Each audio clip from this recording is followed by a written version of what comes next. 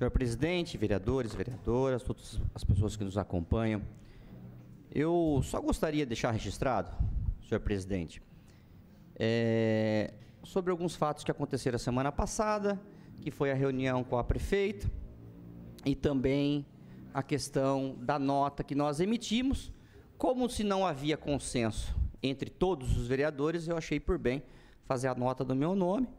Eu prefiro agir assim, né? Porque toda vez que você está agradando um, alguns, você está desagradando outros. Então, eu procuro ser o menos parcial possível. Acho que esse é o primeiro ponto. Segundo ponto, importantíssimo sim conversar com a prefeita, independentemente da processante que está em curso aqui, pelo seguinte, Carlão, a processante tem que seguir o seu rito, deve acontecer, amanhã já tem reunião, mas nós não podemos, nos próximos 90 dias, só tratar desse assunto. Processante, processante, processante, processante, processante. Com todo respeito à imprensa, a imprensa quer saber o que está acontecendo, mas nós temos outros assuntos para tratar na nossa cidade. Nós temos que seguir cobrando e aguardando para fazer um bom debate, lei de uso e ocupação de solo. Nós temos que seguir cobrando a PPP do lixo, PPP da iluminação. E a ET, Manela Zila. Vossa Excelência, que há tantos anos toca esse assunto. Como está a situação da ET? Nos chega informação, ou informações, de equipamentos, Birrell, que foram comprados, adquiridos por milhões de reais e que estão parados lá. Como eles estão? Como que está armazenado? Está com uma lona. Chega a informação também que alguns equipamentos precisariam, vereador Marcelo Afonso, de ligar, de funcionar, que não pode ficar parado. Eu não sei se essa informação procede ou não. Se procede, está sendo feito esse, esse é igual carro que fica parado na garagem, né? De vez em quando você tem que ir lá e dar uma partida. Será que isso procede? Então assim, então gente, vocês desculpem alguns vereadores que por algum motivo desagradou o fato de eu chamar a prefeita aqui para uma conversa institucional, reservada sim, mas não tem nada para esconder. Nós não temos nada para esconder da população.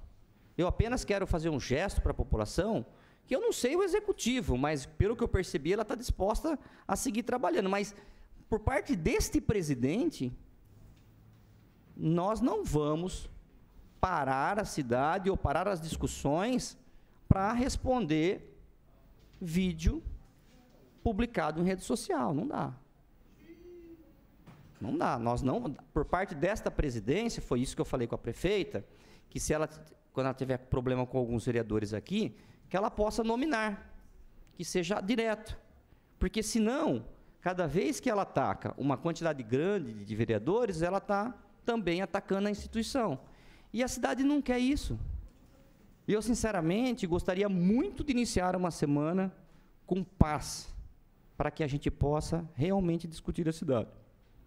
Mas, mas a gente percebeu que não começamos com tanta tranquilidade assim. Então fica aqui esse meu registro e também a questão que eu tenho que deixar registrado aqui também é a questão da reclamação da população que para se cadastrar ou renovar o CAD único, quem fez a solicitação agora no final de junho só tem agenda para setembro. São dois meses de espera para essa população ter acesso aos programas federais, ter acesso a uma cesta básica e tudo mais. Então, assim, é, precisa mudar isso.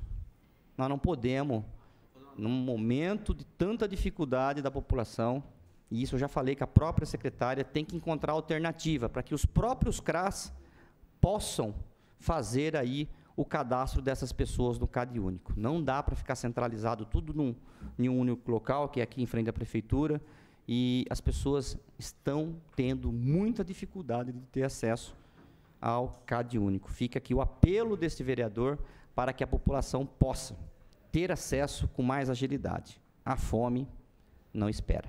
Obrigado, senhor presidente.